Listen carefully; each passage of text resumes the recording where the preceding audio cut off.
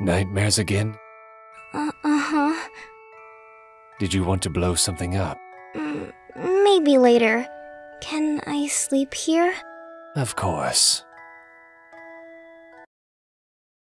You're going to get me my money. And my cupcakes.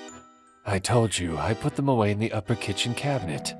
Oh, that's right. You're free to go. N no, he's not.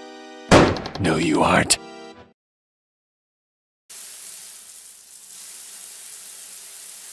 Fucking showers this long? What the fuck?